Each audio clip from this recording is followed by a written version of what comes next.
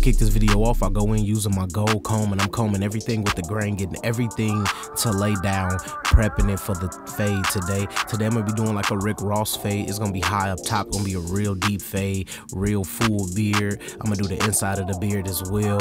We gonna really take it there. If y'all able to sit through this 18 minute video, I promise y'all it's finna get ugly.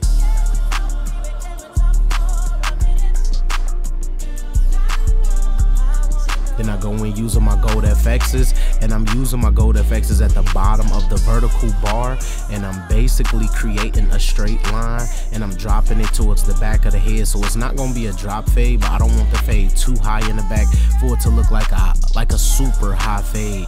Um, because my client actually has a different head shape than Rick Ross and the lining and everything is proportioned different. But this is how you make you know a celebrity haircut fit you know your normal consumer or your normal customer or your normal client. Whatever the situation is you get clients who come in and they ask for haircuts that they see on the internet. And some people can get the haircuts and some people can't get the haircuts. It really determines you know based off of the head shape you know hair texture how full a lineup is in certain places. Like it just really matter uh, based on whatever the situation is and the client's uh, hair or whatever the canvas is that day. So you guys got to really pay attention to hair shape, hair texture, and you know, the lineup, things of that nature. Want to give you these pitches because you are trying to compare what you're doing to theirs. So I go on my Babyliss FXs and I'm going in about a half of an inch just because I won't be removing no bulk from the top. Like I honestly feel like the top of his hair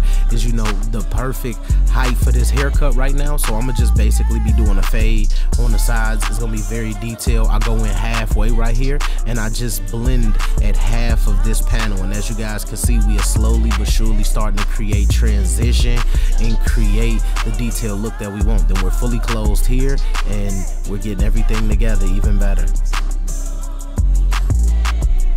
as you guys can see like the Babyliss FXs are not to be played with. You got level work on them. The uh the motor is consistent. They're very very very very powerful. And then I go in with my Andis fade blade up under that just because I kind of set my guideline in with my hitters. And at times you know fully closed the Babyliss can't get it out. Um but I got that fade blade on the 1919, so shout out to my boy Filthy Blends.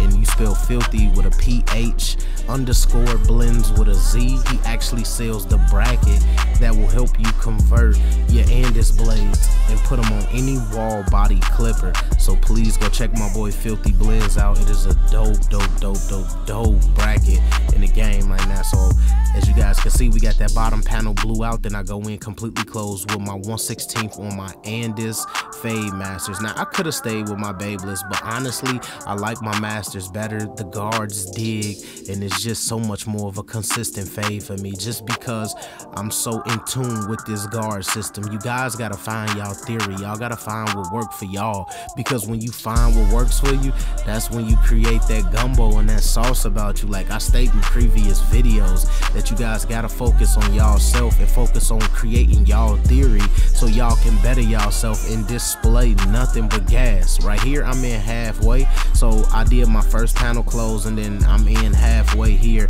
And I'm just basically detailing in this area. As you guys can see, the fade is already coming together and everything is falling into place due to the hair being the perfect height and me not having to really remove no bulk from, you know, the top of the hair or really the ridge of the hair. Everything is just very consistent with me throughout this fade, which is why, you know, I like this video. I get a lot of bald fade comments. A lot of people ask about doing like real deep fades. So I kind of want to, you know, spend some time with getting a lot of clean deep fades in for you guys. And i think this is a goodie so please like share subscribe comment. Do all of that. I promise y'all like the gas won't stop. It's 2019 this year the creators glacier gang we in the building. We focus it's that time so I just keep everything consistent and I'm just opening and adjusting my lever as I go throughout my fade because what I'm trying to do is hit a lot of the bulky areas without having to put on any other guard besides my 116th. At times you can save yourself so much time, but you gotta understand your clipper and you gotta understand your guard system. Right here I go in in the beard and I'm completely close and then I go halfway and then I go open and then I fade between the two. So whatever I do to the bottom is what I do to the top. It's just like finding a common denominator. Everything is just reciprocated because I did it up top first and then I dropped down. And as you guys can see, I just go into detail this area in the back of the head where it's still a little bit bulky. I'm using my 116th guard. And as you guys can see, I got so much control over using this guard when I'm using the hilt of my blade and not really digging into the client's head. I'm keeping my blade consistent and only fading using the back you know, of my blade. So my blade is tilted. So I'm not taking too much hair and I'm always creating softer guidelines. I go in completely open and then I drop them halfway right here and then I'm gonna go completely closed. And as you guys can see, the back is pretty much blended out. Like it is so easy to knock these fades out. You guys got to remember and create that theory. Creating your theory and creating your sauce and your flair and your flavor about yourself is what is gonna make you stand out from other barbers. You get me, you got Bossio, you got Jeezy, you got Sean Cuts Hair, you got Matt Gifted Hands, you got so many influencers on YouTube that's giving amazing game away. You just take a little bit of what you find, you know, throughout the internet and your research, and you just apply it to what you already do. You know, to, to, to, to grow your arsenal is to further education. Is to you know to pay attention to what's going on in not only your industry but you know all of the other third party apps that uh, have evolving your industry. Like YouTube is one of the greatest sources for any upcoming barbers because you guys get, you know, raw footage. You guys also get to watch us troubleshoot our way through our haircuts and explain it down to a T as best as we can to help you guys comprehend and put up the same shots or put up something similar in the shop. The objective is for everybody to grow.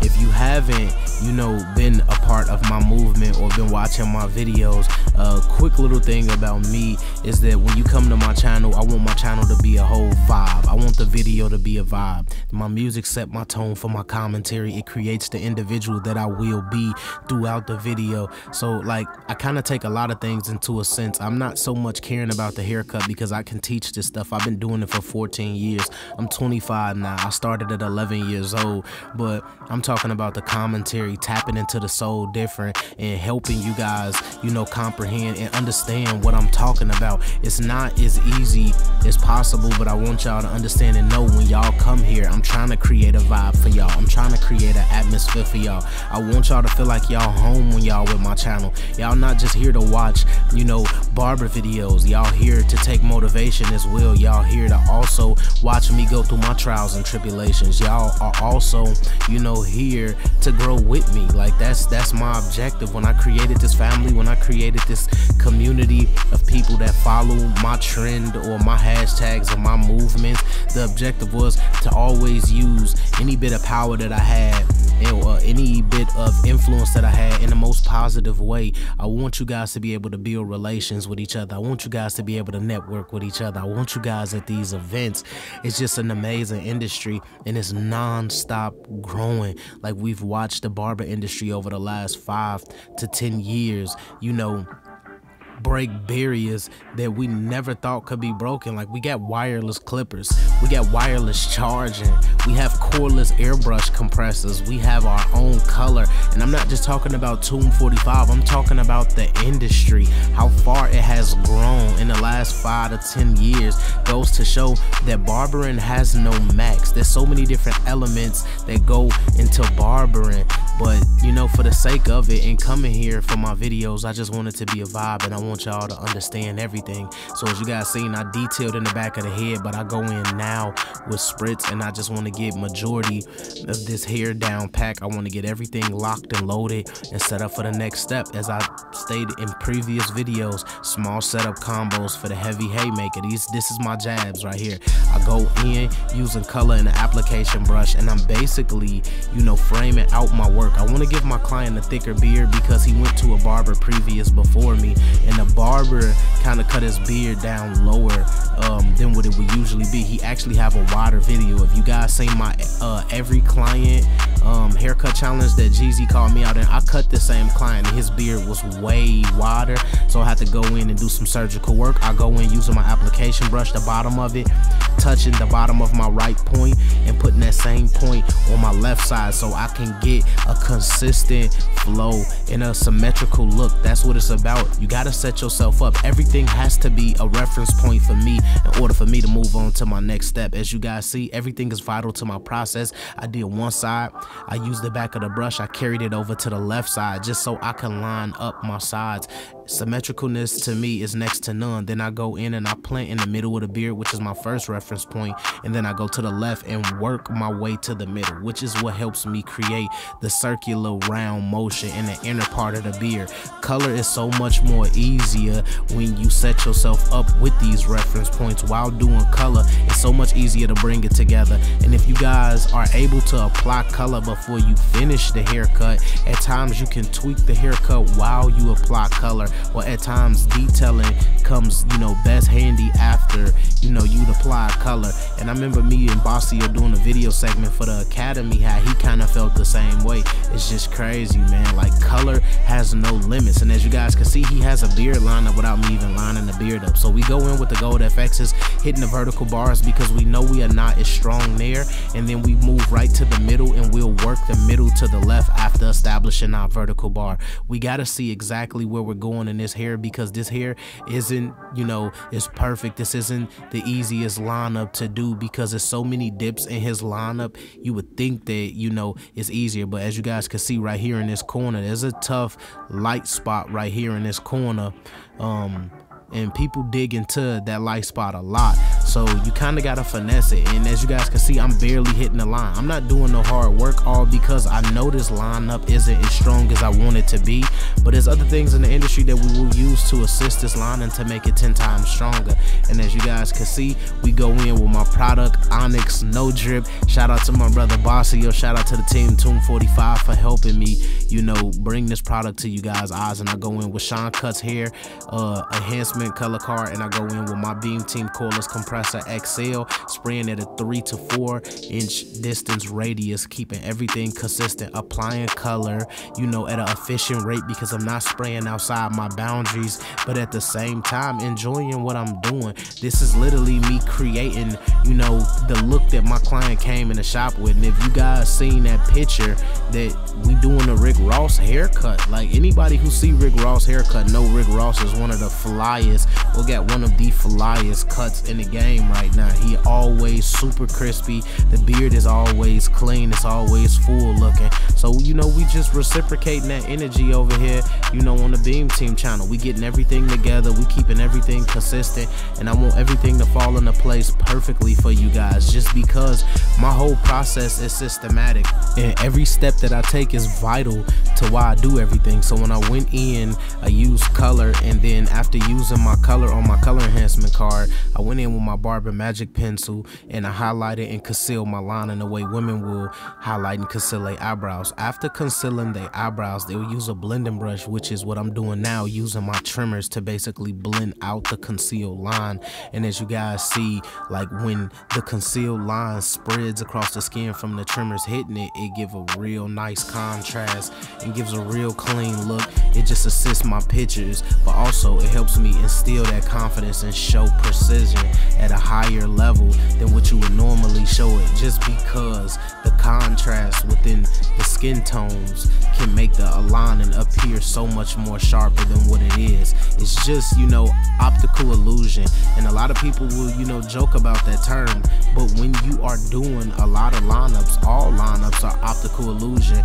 Any lineup that's done, whether it's with color or whether it's not, because that's not somebody's natural lineup. Just like every lineup is a pushback. Even if you're not like fully pushing somebody back, you have to trim some type of hair or cut some type of hair to get a specific shape within a lineup. So take that into consideration when you are using color and you just doing lineups that you know let things come naturally and you know use other products to help you assist or achieve you know the ultimate look that the clients come in and they ask for because you got to understand we are barbers. We know what we talking about. We know what's best for a lot of our clients here at times, but sometimes you get clients that know exactly what they want, and the only thing you can do is accommodate them. Either you go, you know do the work or you not gonna do the work. And in my case, how I work in a shop environment, I don't pick and choose my clients. If they're on my appointment list, stay in a chair. So you know we make it happen. This is my boy Jamel. I actually been cutting them for about a year now, and uh, you know I I used to watch him get cut at my shop before, and he got cut by a lot of other nice guys throughout my city. But you know he finally made it in my chair, and ever since he made it in my chair, we've both been able to always consult well over his haircuts, make sure that his haircuts are completely clean. He like them real boss executive like looks, and you know I like to accommodate that. Y'all know me. I love precision. I love real distinguished, like clean, precise haircuts.